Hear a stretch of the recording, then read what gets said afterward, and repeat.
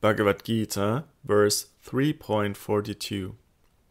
The senses are said to be superior to inert matter, and the mind is superior to the senses. The intelligence is superior to the mind, and he, the soul, is superior even to the intelligence. Sarartha-varshini.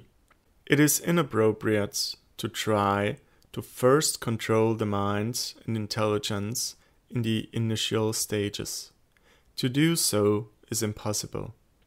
Nevertheless, to explain the process, Sri Bhagavan is speaking this verse beginning with Indriyani Parani.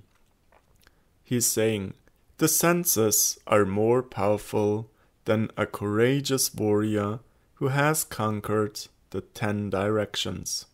Indeed, they are superior to him, for even he cannot control his senses.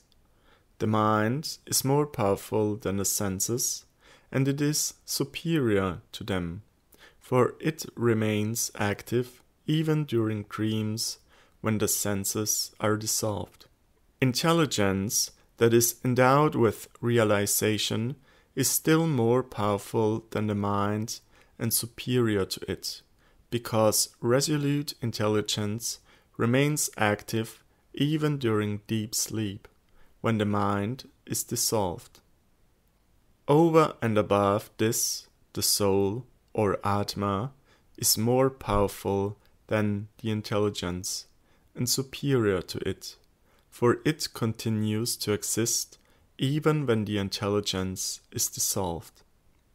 It is this glorious soul alone that can conquer lust.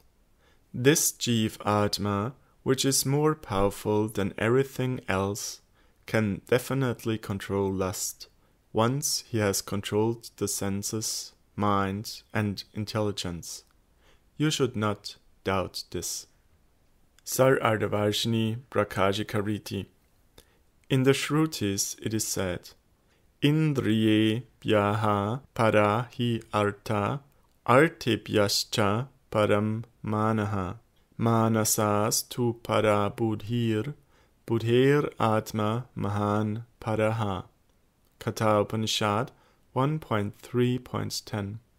Certainly, the senses are superior to the gross body, and the mind is higher than the senses. Higher than the mind is intelligence, and the great one, the soul, is the highest of all. Srila Bhaktivinoda Thakur quotes Krishna as saying, I am explaining to you in brief that your real identity is that of a soul, a jiva. You have accidentally become bound by inert matter, so now you identify yourself with the senses, mind, and intelligence.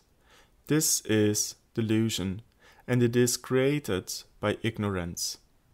The senses are superior to and more subtle than inert matter. The mind is superior to and more subtle than the senses. The intelligence is superior to and more subtle than the mind, and the soul or the self is superior even to the intelligence.